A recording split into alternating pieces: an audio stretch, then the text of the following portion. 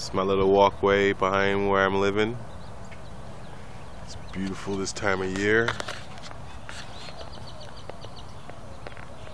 As you can see, there's just beautiful plants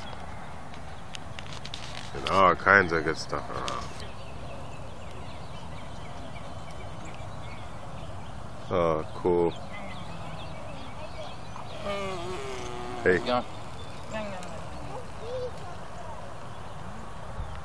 Hmm. Isn't that cool? I mean, it's so beautiful out here. I mean, Texas its, Texas at its best. Do it big down here.